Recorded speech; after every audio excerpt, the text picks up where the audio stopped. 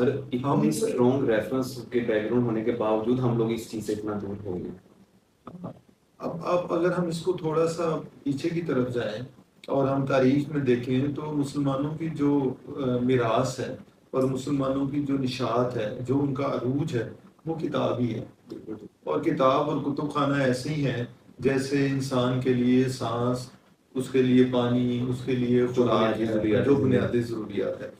तो ये तो चोली दामन का साथ है और किताब का जो पहला कॉन्सेप्ट है, पहला पेपर है, पहली पब्लिकेशन है, वो अल्लाह ताला ने मुसलमानों के नाम रखी है।